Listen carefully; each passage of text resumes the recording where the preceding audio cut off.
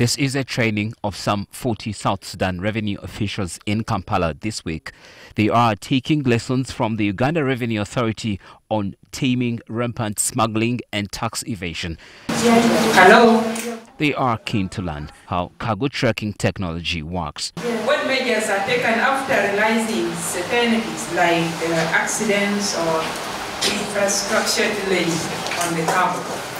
The enforcement of electronic cargo tracking notes represents a significant step forward in regional and cross-border trade by ensuring cargo is accurately documented and monitored from departure to arrival. And on the Ugandan side, the Commissioner Customs says the system will help enhance security, reduce fraud and promote efficiency.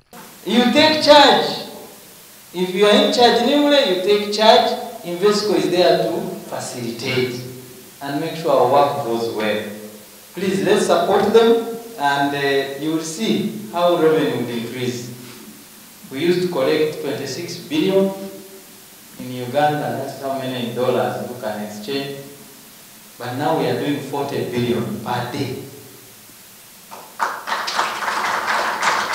That is a huge, huge growth. South Sudan officials in Kampala admit that they have realized revenue losses as a result of round tripping and under declaring.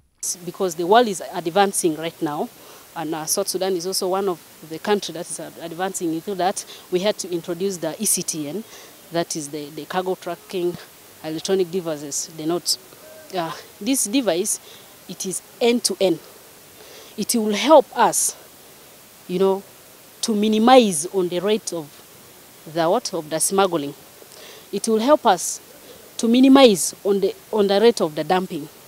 And then uh, the other above all is that both the country they will realize they will breach in that gap of revenue what yeah revenue reductions is the facilitation of the trade between uh, the, the EAC community, and that's South Sudan is within this community. And the second thing uh, is to boost up the or to enhance the oil, uh, the non-oil revenue collection. And the third thing, of course, is to to reduce or to get rid of smuggling of goods heading to South Sudan. Experts' expectations are this knowledge will help revenue authorities on both ends by, among other things, aligning clearance processes for goods in transit and reduce delays, etc. And the systems we're going to provide you will be able to tell you and the responsible parties at any one point where a container is, where it has reached. You'll be able to pull the document for that cargo at any point to understand what should I be expecting in this container. South Sudan is one of Uganda's largest trading partners with receipts worth 389 million US dollars in 2021 according to Government of Uganda records. Malcolm Sime, NTV Weekend Edition.